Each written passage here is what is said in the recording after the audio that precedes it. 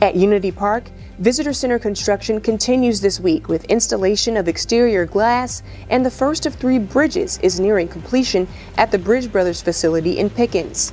The bridge is scheduled to arrive in Greenville early June.